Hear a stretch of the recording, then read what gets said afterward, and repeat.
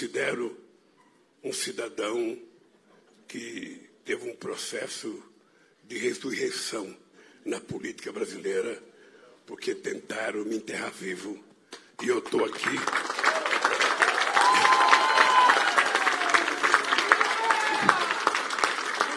Estou aqui para governar esse país numa situação muito difícil, mas eu tenho fé em Deus que, com a ajuda do povo, nós vamos encontrar uma saída para que esse país volte a viver democraticamente, harmonicamente, e a gente possa, inclusive, restabelecer a paz entre as famílias, entre os divergentes, para que a gente possa construir o mundo que nós precisamos e o Brasil. Esta não é uma vitória minha nem do PT, nem dos partidos que me apoiaram nessa campanha.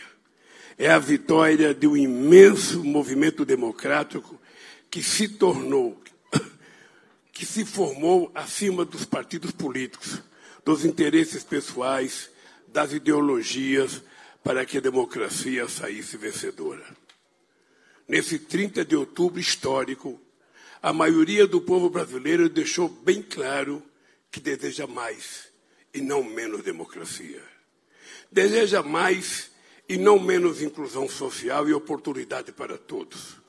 Deseja mais e não menos respeito e entendimento entre os brasileiros. Em suma, deseja mais e não menos liberdade, igualdade, fraternidade